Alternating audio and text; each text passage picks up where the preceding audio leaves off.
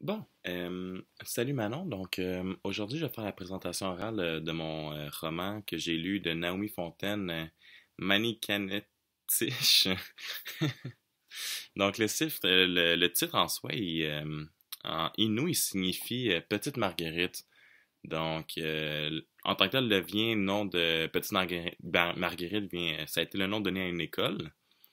qui rend hommage à une petite Marguerite qui n'avait jamais eu d'enfant, donc une madame qui s'occupait des enfants et de la, et euh, c'est ça, donc euh, pour la, remercier, vu qu'elle n'a jamais eu d'enfant, elle a pris soin des orphelins comme c'était ses propres enfants. On a nommé une école à son nom, dont, euh, dans la côte du Nord. Donc le livre en tant que tel, euh, il a été publié par Mémoire d'Encrier. Euh, maintenant, Naomi, Naomi Fontaine, elle a écrit son, ce deuxième roman. Son premier, c'était... alors, je me souviens plus du titre, malheureusement. Mais c'est son deuxième roman. Donc, son premier a été beaucoup acclamé en 2011. Donc, celui-ci a été publié en 2017. Donc, c'est une œuvre de fiction, selon moi. Elle s'est beaucoup inspirée de ses élèves, donc de leur courage, leur persévérance qu'ils ont fait tout au long de, de leur session, de leur chemin de vie, et ainsi de suite. Donc, elle s'est vraiment basée sur ses expériences de vie pour pouvoir écrire ce roman. Donc, elle-même, en tant que telle, euh, Na- Naomi est une autochtone euh, née dans une tribu euh, Innu. Donc, elle a fait c'est, euh, elle a été diplômée à l'Université Laval euh, en enseignement au primaire, enseignement de français.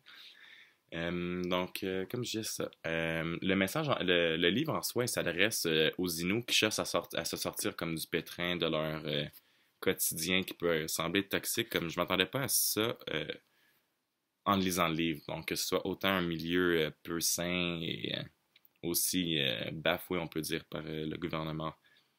Donc, euh, c'est ça. Donc, le message euh, s'adresse vraiment aux personnes qui veulent persévérer, donc les Inuits, ou sinon, encore une fois, ça peut s'adresser aux personnes euh, comme moi, comme n'importe qui, comme qui connaît pas trop qu'est-ce qui se passe dans la côte du Nord, dans les réserves, avec les, les Autochtones en soi.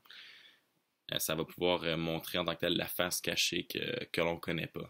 Comme en histoire, on n'a jamais parlé de comment que ça se passe en tant que tel dans des, dans des réserves. On sait juste qu'ils ont des réserves, ils payent pas de taxes pas plus qu'on apprend en histoire malheureusement, alors que en tant que tel c'est leur territoire, on devrait vraiment plus apprendre sur euh, leur euh, culture et ainsi de suite, leur, euh, leur vie et, tout. Donc le livre en tant que tel, c'est l'histoire d'une femme, une professeure, qui avait sa petite vie normale, elle avait son copain, mais là elle savait que c'était pas une vie qui lui était destinée. Donc elle décide de de suivre sa, destinée, de suivre son chemin. Donc, elle décide de retourner dans son village pour pouvoir enseigner aux jeunes enfants euh, le français. Donc, tout au long du, livre, on va pouvoir remarquer qu'elle est passionnée par le français. Donc, c'est vraiment le français qui l'a sauvé et qui va avoir sauvé en tant que tel les enfants, donc la littérature.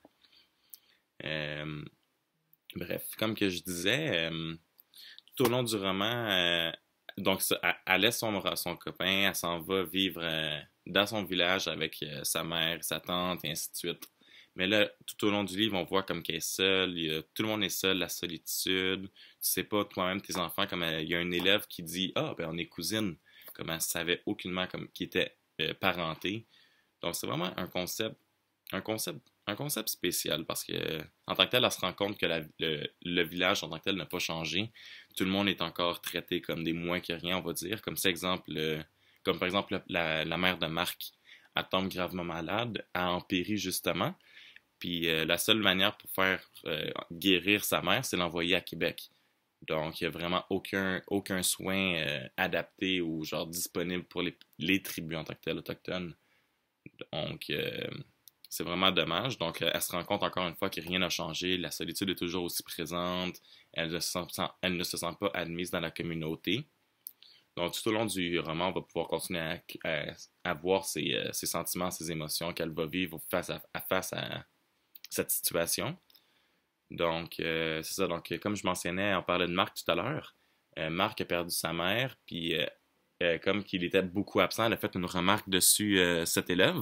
Et là, c'est à ce moment-là qu'elle a découvert comme que sa mère était, malade, puis elle allait mourir. Donc, dès ce moment-là, elle a commencé à comme vraiment avoir une relation plus per personnelle avec les élèves.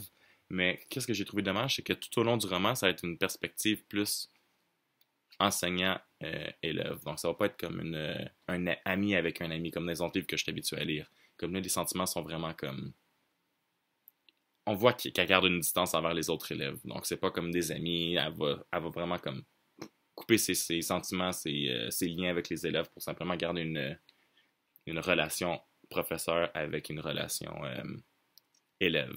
Donc, c'est ça que j'ai trouvé un petit peu euh, moins plaisant du livre.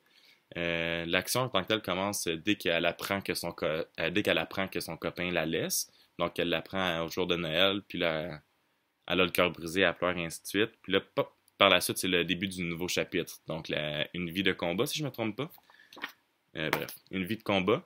Donc là, le, directeur lui donne un projet pour les classes autochtones où est-ce qu'il faut qu'elle s'occupe d'une classe, d'une classe de théâtre. Et au fur et à mesure, elle va commencer à plus voir le, quotidien des enfants, plus être proche des, élèves. Et c'est vraiment comme à ce moment-là que le livre devient vraiment intéressant. On voit plus d'émotions, c'est vraiment plus accrocheur, on va dire.